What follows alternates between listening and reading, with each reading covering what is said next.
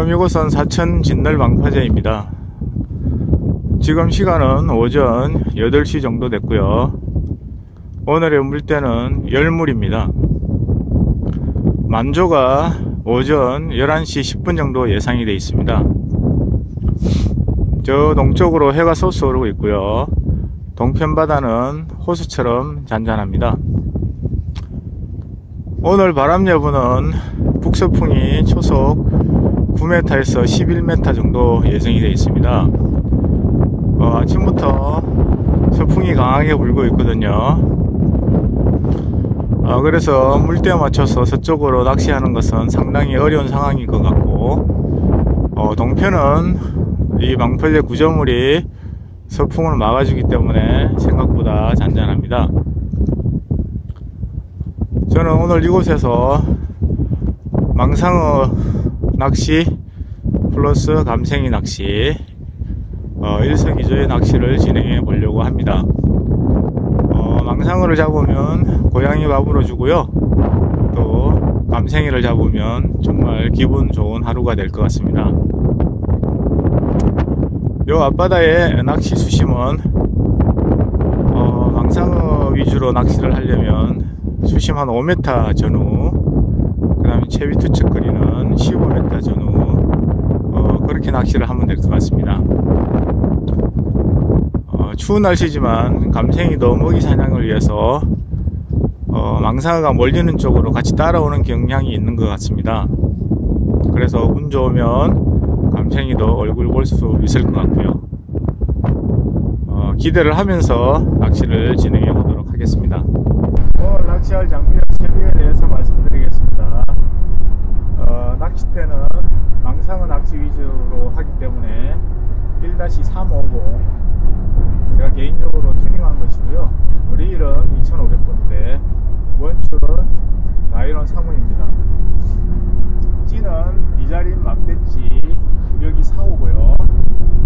어, 목줄은 나이론 2호에 1.5m 마늘은 감정돈반을 3호를 달았습니다. 어, 이것으로 망상어 낚시와 감생이 낚시를 동시에 진행해 보도록 하겠습니다.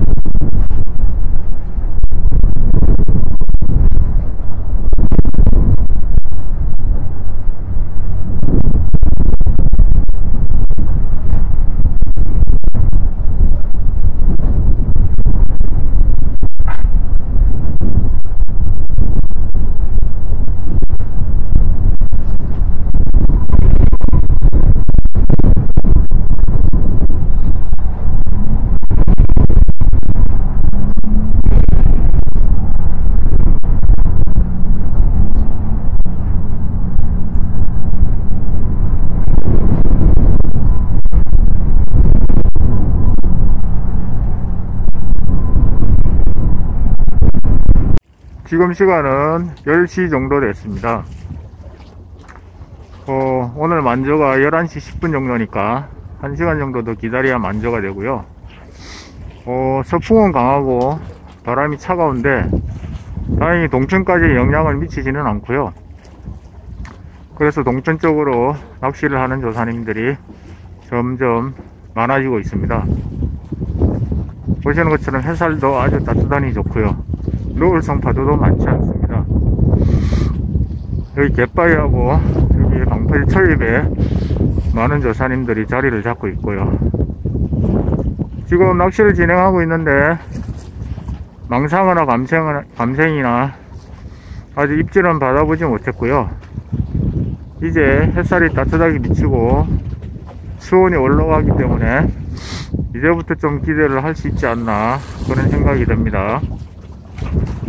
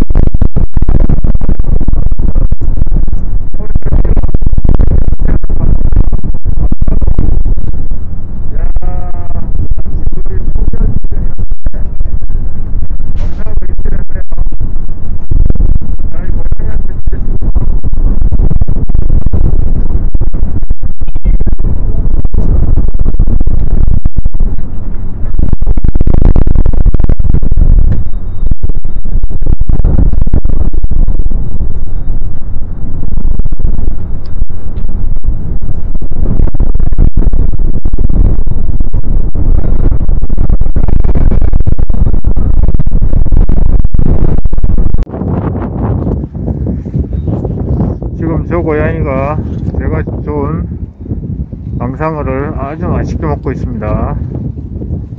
어, 오늘 처음 잡은 망상어인데요. 저 망상어도 사이즈가 한 25 정도로 좋았거든요. 그래서 이야기한 대로 망상어한테 선물로 주니까 쟤 정말 잘 뜯어먹고 있습니다. 참 신기한 거는 저렇게 먹고 있으면 다른 고양이들이 뺏지를 않네요. 어, 나름대로 또 고양이 세계에도 그런 불문율이 있는 것 같습니다.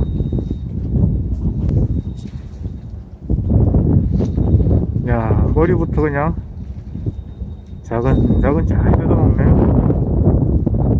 지금 이 겨울 망상어가 살이 쪄가지고요. 되게 단단하거든요. 뭐 저거 한 마리 정도 먹으면 뭐 하루는 거뜬히 견딜 수 있을 것 같네요. 저기 갯바위 조사님. 아, 원투 하는구나, 카고. 네, 카고. 카고 낚시를 하네요, 저기는.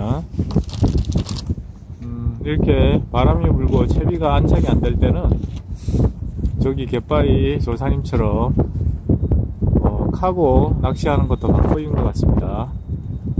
어, 바닥에 있는 고기를 공략하는 것도 이렇게 날씨가 안 좋을 때는 한 가지 방법인 것 같네요. 지금 시간은 오후 1시 정도 됐습니다. 어, 근데 오늘은 특이하게도 아침부터 계속 서풍이 강하게 불어가지고요. 저 앞에 풍력 발전기 날개가 보이지 않을 정도로 빨리 들어가고 있거든요. 날씨는 하늘에 구름도 없고 햇살도 쨍하니 좋은데 서풍이 너무 강하게 불어가지고요. 이게 동쪽에서 조사님들이 낚시를 하고 있지만 어, 서풍의 영향으로 노을성 파도가 아주 강하게 치고 채비가 많이 쏠리고 있습니다. 아, 그런 이유인지 몰라도 오늘 이 전체 방파제에서 제대로 된 입질과 히트 장면은 보지 못했고요. 공교롭게도 제가 망상어 25 사이즈 한 마리 히트하고 얼굴을 본 게 전부입니다. 아, 그것을 고양이한테 던져주니까 정말 잘 먹고 있는 모습을 봤고요. 이 앞에 갯바위, 그 다음에 이게 테트라포드 쪽에서 어, 따뜻한 지역을 공략하는 조사님들이 있는데 아쉽지만 제대로 된 어, 히트 장면은 없었습니다. 아, 오늘 정말 큰 기대를 했었는데 어, 정말 바람이 이 강한 서풍이 복병인 것 같고요. 어, 아쉽지만 오늘 방송 종료하도록 하겠습니다.